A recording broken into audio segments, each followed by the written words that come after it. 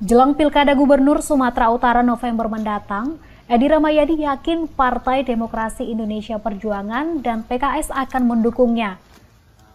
Usai ziarah ke makam pendiri kota Medan Guru Patimpus, mantan Gubernur Sumatera Utara periode 2018 hingga 2023 ini mengatakan, saat ini partai politik masih melakukan penjaringan serta fit dan proper test terhadap calon yang diusulkan.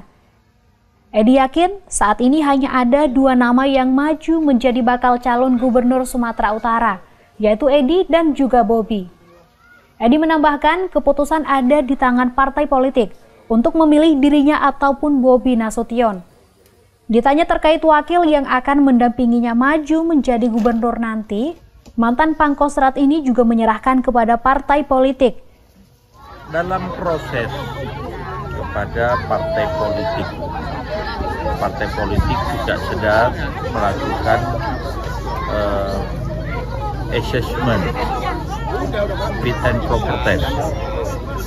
Nanti setelah itu ya mereka akan menentukan siapa yang akan dicalonkan. Pastinya Sumatera Utara kan.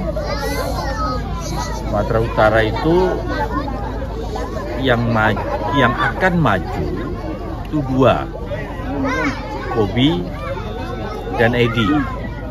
Jadi partai itu pun juga gampang kalau nggak milih Bobi, ya milih Edi. Itu aja.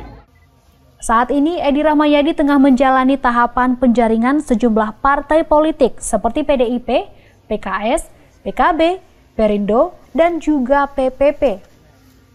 Tim Liputan Kompas TV, Medan, Sumatera Utara.